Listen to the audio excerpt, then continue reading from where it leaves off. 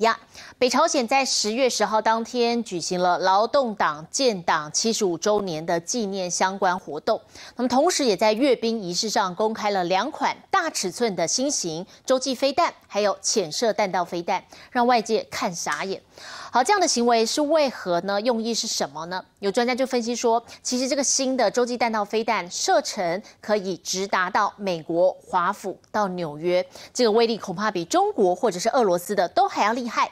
好，但是南韩另外也有专家表示，目前还是没有办法轻易判定，因为平壤这回展示的可能是实弹，但也有可能是模型弹。平壤当局除了破天荒的在午夜来进行阅兵，另外领导人金正恩他还在阅兵台上，因为有感愧对人民而直接哽咽落泪。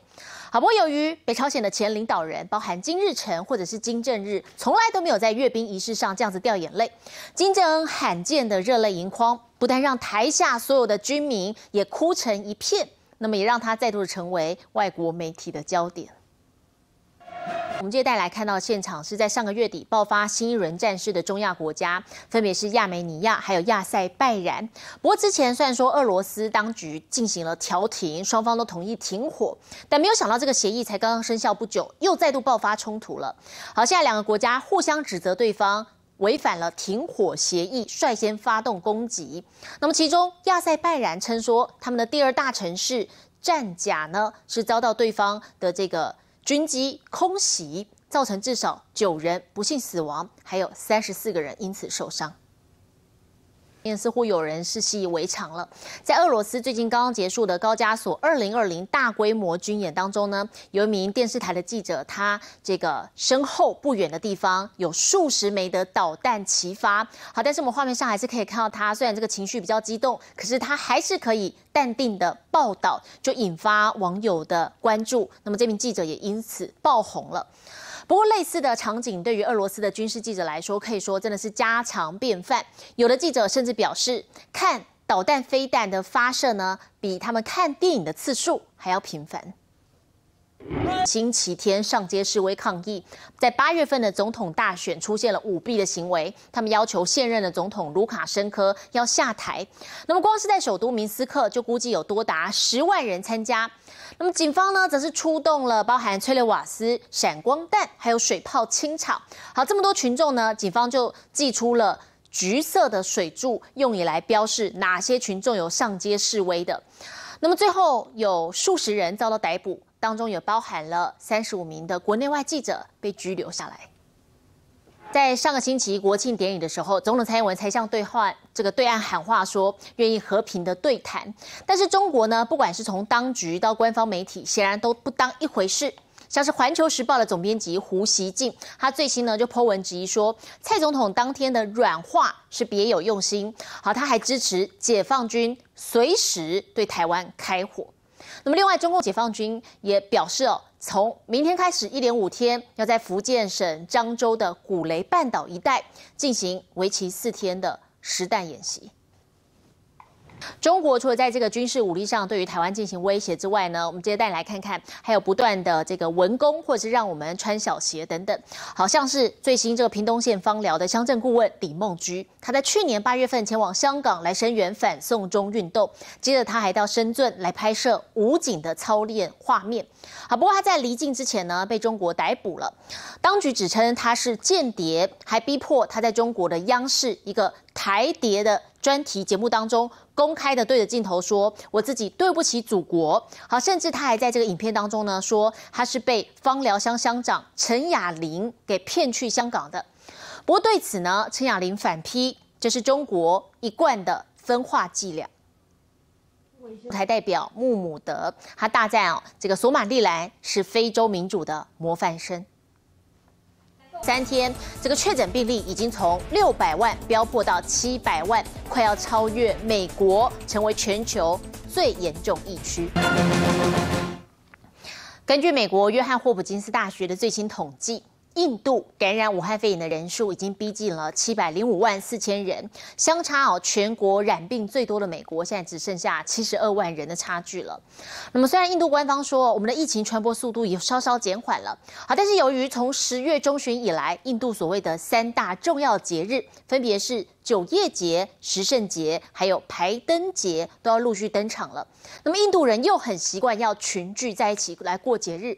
也替防疫带来了严峻的挑战。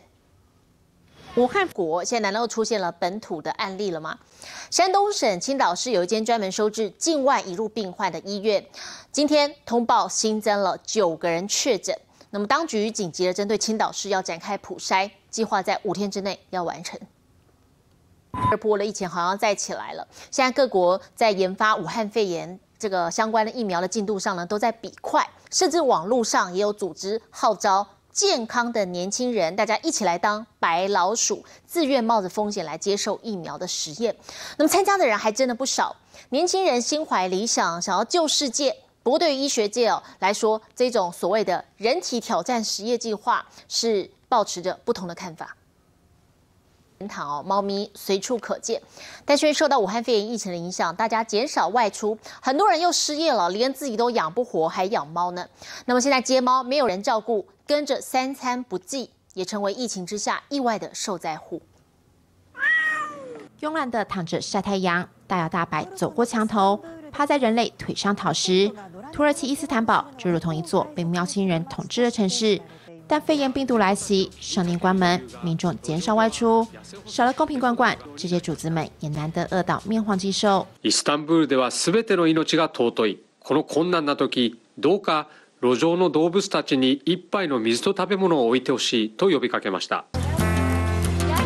市长带头当猫奴，呼吁铲屎官善尽职责。有民众甚至每天花上一个半小时巡回各条街道，为住家附近的喵星人定期放饭。 O manevi tat başka. Ben gelmesem, bunları beslemezsem evde oturup rahat edemem ki. 这个喂猫的职工团体成员大约二十人，当中甚至有人因为疫情被裁员，根本没有收入，还掏出存款来付饲料钱。Koronanın çok büyük bir etkisi oldu hayatımızda. Tabii sırf benim değil, bütün dünyaya mal olmuş bir olay bu.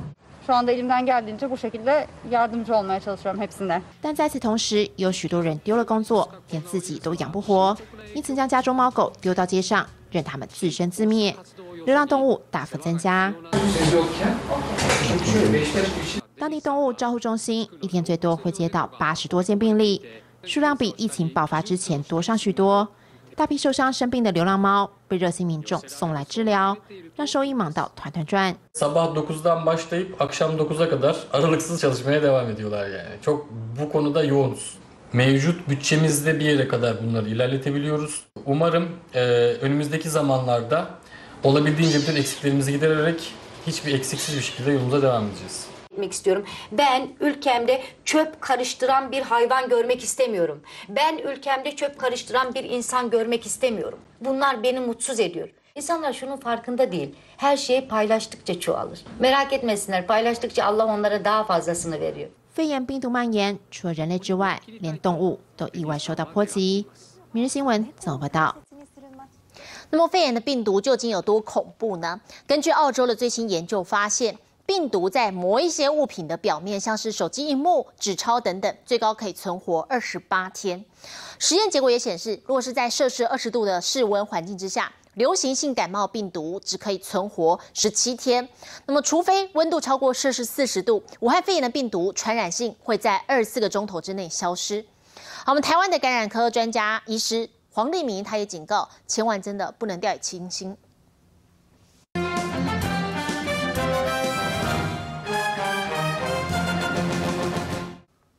钢琴神童，我们再来看哦。法国有名小男生，他从一岁的时候就开始玩钢琴，因为父母发现，只要是他听过的任何旋律，都可以准确的这个弹出旋律。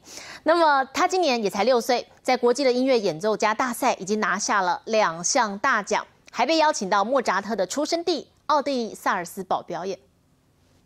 还有电竞市场规模不断的扩大，同时衍生出各种的商机。